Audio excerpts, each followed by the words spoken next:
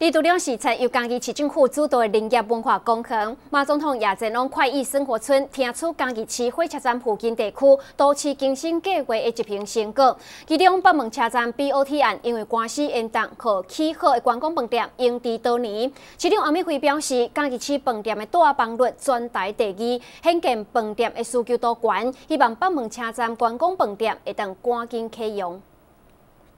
马总统南下家己视察，林务局局长李涛生趁机会报告，今年年初才起营运的快意生活村，短短五个月，游客高达了三十二万人次，是决定在今年七月份正式来营运。因此，我们用 OT 的方式来让民间厂商投资。现在投资的厂商公司叫做生生快意生活村公司，目前已经有三十二万人，它是以收入台币已经到一千七百万。林务局强调。快意生活村包括农业精品馆、银林俱乐部和二十八栋的历史建筑，原本木材恢复使用率高达四成，而且是政府征收之后委外经营的 BOT 典范之一。加上阿里山林业村和北门车站，这拢是嘉义市火车站附近地区的都市更新计划之一。在七年前我竞选总统的时候，把都市更新当做政见，这是有背景。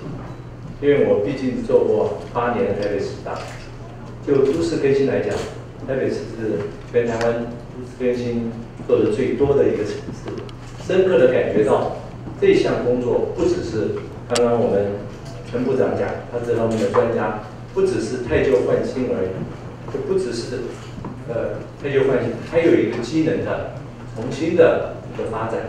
这是家己市火车站附近地区多次更新计划，也包括着北门车站的 BOT 计划，但因为厂商和林务局关系一直无解决，也互起好观光饭店限地几多年。为此，市长吴明辉也建议赶紧和观光饭店来启用，因为现在家己市饭店的需求是真悬。赶快让它启用，因为嘉义市现在在我任内就有二十几家的旅馆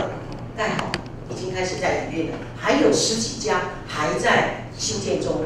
那我们是全台湾的住房率仅次于台北市，嘉义市是第二名，所以住房率也很高。现在大家就争相的在这边盖，而且呢，这所有的旅馆业真的很发展，所以我们希望那一个地方赶快做。总统马英九强调，台湾已经变成着观光的国家，去年来台旅客总人数达到八百空一万，今年总计超过九百万。总统也以美景、美食和美德来勉励发展推动观光产业。其中，免费也强调，市府所开发的林业文化公园，未来将衔接阿里山林业村和快意生活村，成为着观光休闲的新亮点。